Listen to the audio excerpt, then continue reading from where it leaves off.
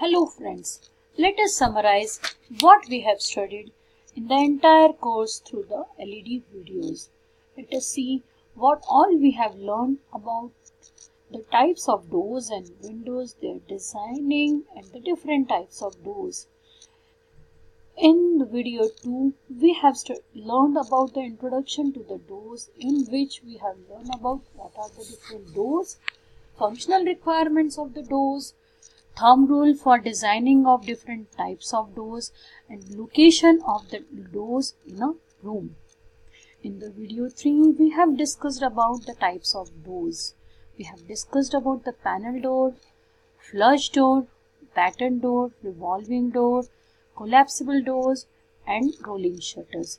We have discussed about these different types of doors, their materials and the design considerations and the functional requirement of all these different types of doors in the different types of buildings.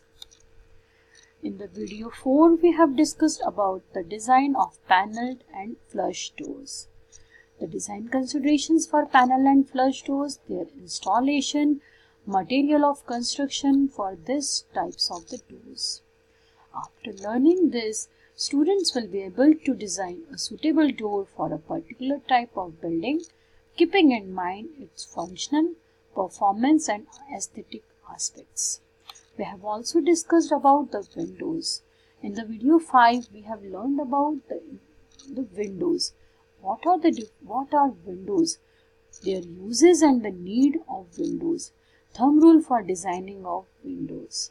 We have also discussed in the video 6 about the types of windows in which we have we have discussed about the selection criteria for the types of windows and we have studied the ty different types of windows under the classification of windows based on the function, based on materials as well as the windows based on positions. We have learned in the video 7 about the design of louvered windows. What are the louvered windows?